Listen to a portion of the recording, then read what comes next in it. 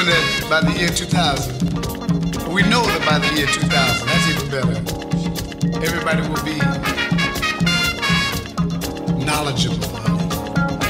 You understand? Everybody black. 2,000 black. 2,000 black. 2,000 black. 2,000 black. 2,000 black.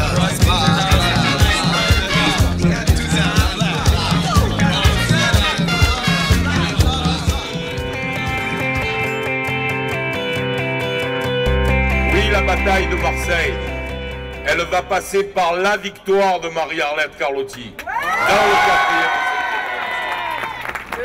C'est elle qui va donner aux Marseillais les clés de la municipalité. C'est ici que nous allons combattre ceux qui depuis des années se complaisent dans l'immobilisme et qui ont abaissé, affaibli notre ville depuis tant d'années, 20 ans. 20 ans qu'ils sont au pouvoir et 20 ans que la fonction de maire a été abaissée dans cette ville. Si vous m'élisez maire de Marseille le 30 mars prochain, je démissionnerai de l'Assemblée nationale immédiatement. La place du maire de Marseille, elle n'est pas ni au Sénat, ni à l'Assemblée nationale, ni à Saint-Zacharie, ni à Neuilly. Elle est ici, sur le Vieux-Port, avec les Marseillais.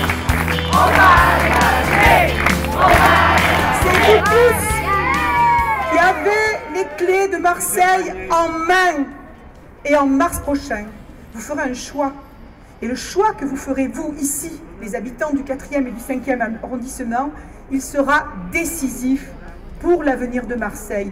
Si, comme moi, et je le sais, vous aimez passionnément Marseille, son énergie, ses couleurs, son histoire, mais si, comme moi, Marseille vous exaspère parfois et que vous refusez quand même de la voir sombrer, alors vous ferez le choix du rebond, vous ferez le choix du mouvement, vous ferez le choix de l'ambition, vous ferez le choix de Patrick Menucci et de son équipe.